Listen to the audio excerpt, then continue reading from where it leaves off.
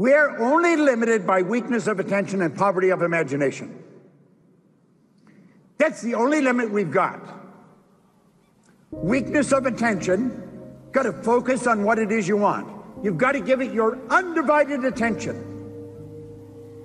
And poverty of imagination. Use your imagination to build enormous pictures. See great things happening in your life.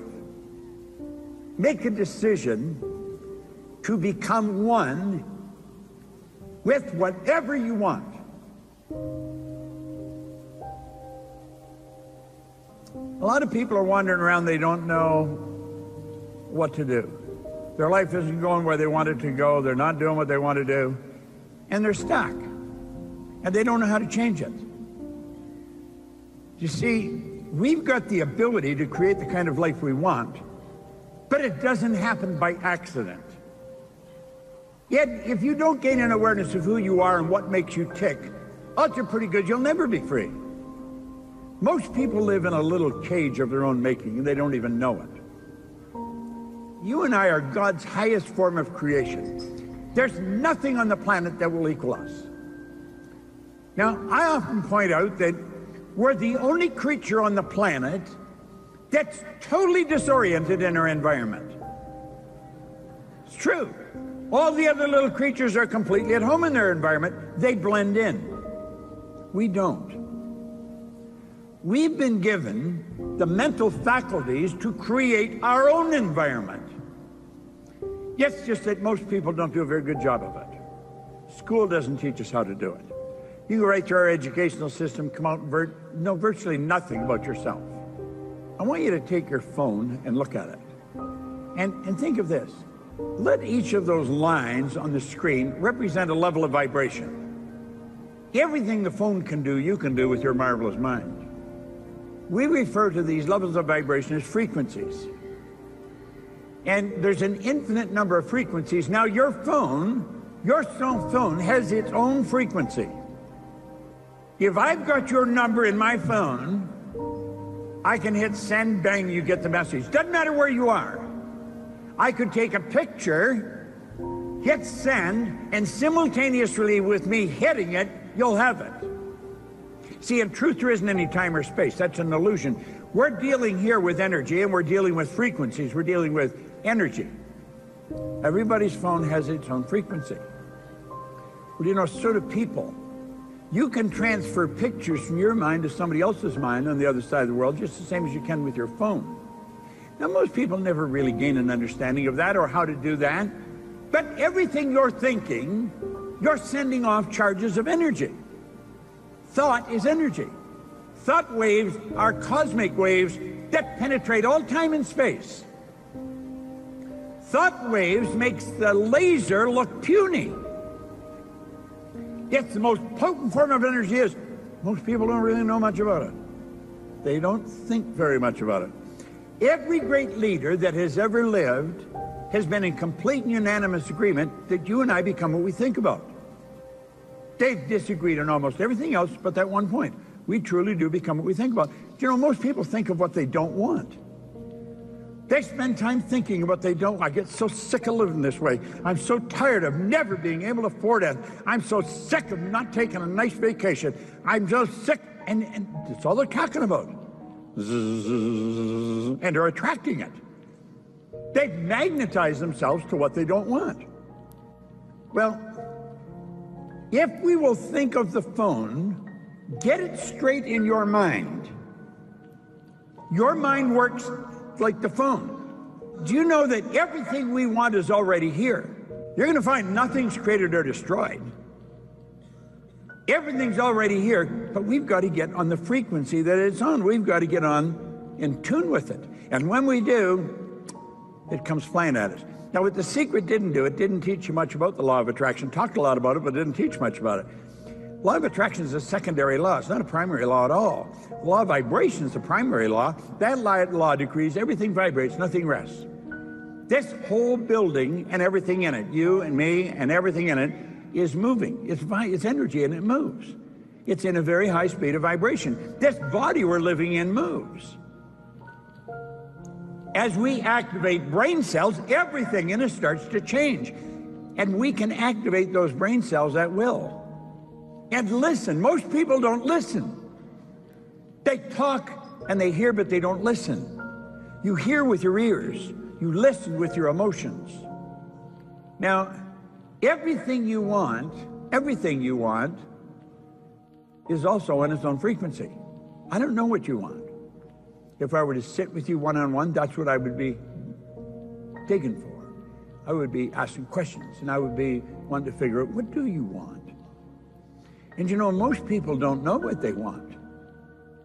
Look at your present results right now. I want you to really think about your results. If you're thinking about your income, look at your income. You're talking about relationships, look at your relationships. If you're talking about your health, really take a good look at it. You're attracting what you're in harmony with. Now, if somebody had told me that when I first started, I wouldn't have liked it because I didn't like what was coming into my life. I didn't like it at all. But we've got to understand nobody's given it to us. If it's coming, we've earned it. If we don't like it, we can change it. It's so basic and so simple. Energy attracts like energy.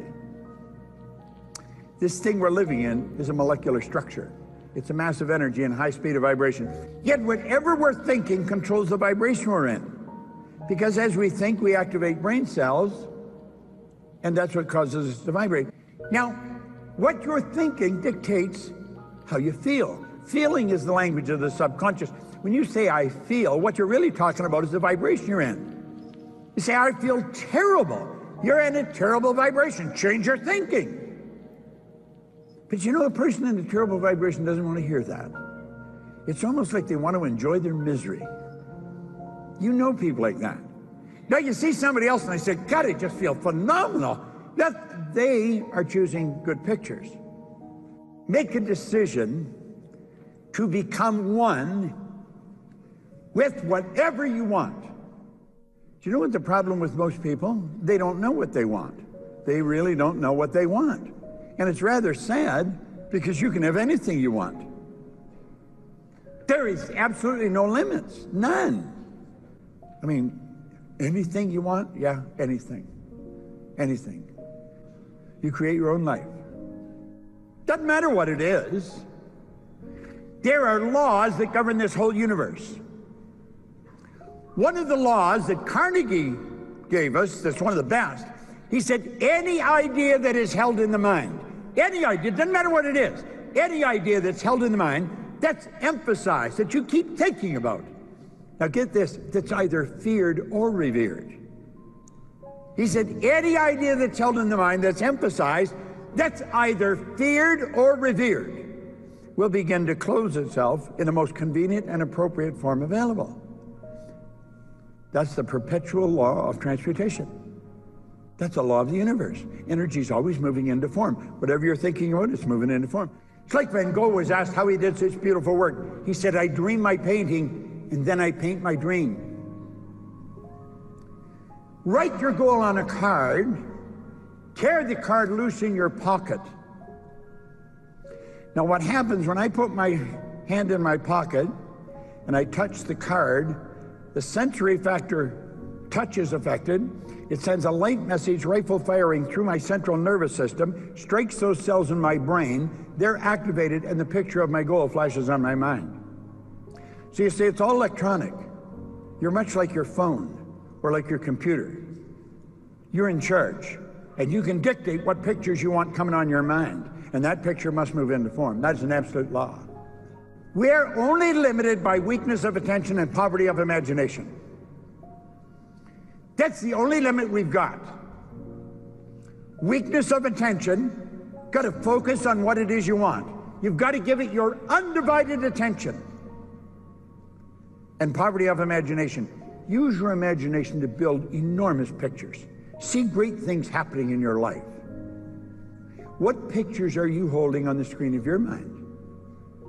The only limit is weakness of attention and poverty of imagination.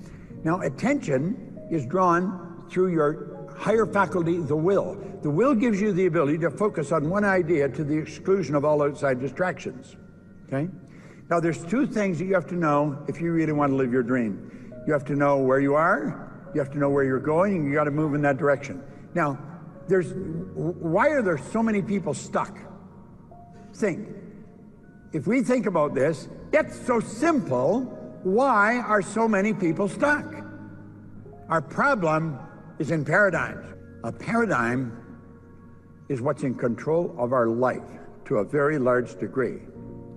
And it's the paradigm that keep people stuck. A paradigm is a mental program that has almost exclusive control over our habitual behavior. Now think, a paradigm is a program that has almost exclusive control over our habitual behavior. And get this, almost all of our behavior is habitual. Paradigms control your perception. Perception is a mental faculty. Animals do not have perception, humans do. Perception is one of the higher faculties that we've got. Your paradigm controls your use of time. Do you know that every one of us get exactly the same amount of time? We get all there is. No one gets any more than anyone else. Your paradigm controls everything. It also controls your creativity. You'll see some people are not creative and others are. That's not true. Everybody's creative. You're creating God's image. Our problem is we got that reversed and we created God in our image. You are a creative being. You are truly a creative being. Your paradigm controls your effectiveness because it controls what you do, how you do it.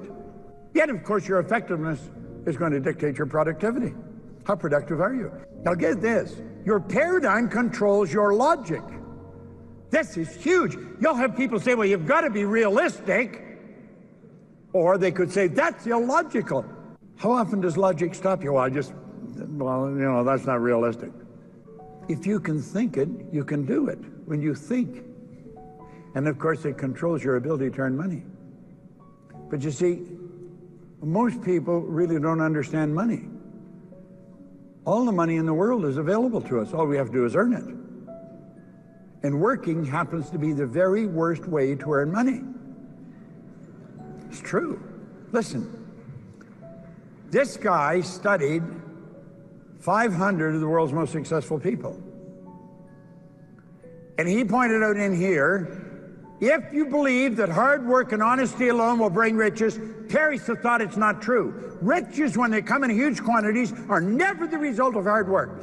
Riches come, if they come at all, in response to definite demands based upon the application of definite principles and not by chance or luck.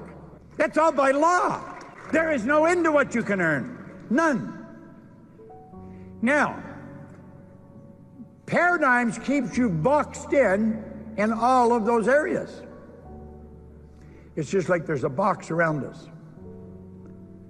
And every time we go to change, we hit the wall. And it doesn't happen. When you make up your mind, you're going to change the paradigm, the wall comes down. But I'm going to tell you something. That doesn't mean you're going to change right away. You make a decision, I'm changing this, that wall will come down. Then you'll be in a position to start moving, and the wall is down. You're not bouncing off it anymore. And when you say, I'm going to change, just think of this the change can be huge, absolutely huge, and the change is permanent. You will never go back. You see, awareness is something you cannot lose. Your spiritual DNA is perfect. Do you know what that means? It means there's perfection within every one of us. There's perfection within every one of us. Yet doesn't require any modification or any improvement. Absolutely none. There is perfection within you. And that perfection seeks expression within through you. That's what causes you to want. My grandmother pretty well raised me. And I'm going to tell you something. Grandma was wrong on this score because she said you should be satisfied with what you've got. Grandma was wrong. Never. You should never be satisfied with what you've got. You should be happy with it. Dissatisfaction is a creative state. Dissatisfaction is going to get you to reach higher, go further, run faster. Dissatisfaction is a creative state. It's the spiritual essence within us seeking expression through us. See, there's perfection within us, and it wants to express itself within through us. That's why you want. Everything you own when you die belongs to somebody else. You never own anything. You're merely a custodian. You should have it and you should enjoy it, but you never own it. But what you are is yours forever. That's why we want to develop a greater awareness. We want to become aware of this perfection within us. Spirit's all knowing. You know what that means? All the knowledge there ever was or ever will be is omnipresent. All the knowledge there ever was, all the power. You'll wonder, where does she get all the energy? Where does he get? Nobody gets energy. Everybody releases energy. Desire, it's a triggering message, lets it go. All the power there ever was or ever will be. Quit saying, oh, I'm tired, I don't know where you get all the energy. You've already got it. Release it. Desire. Desire is the triggering mechanism, and it doesn't matter where you are because it's omnipresent. We're connected to everything. Everything's connected to us. There is only one power, and that's the real you. Are you truly who you pretend to be? Come on. Wake up, get up, get out and make it happen.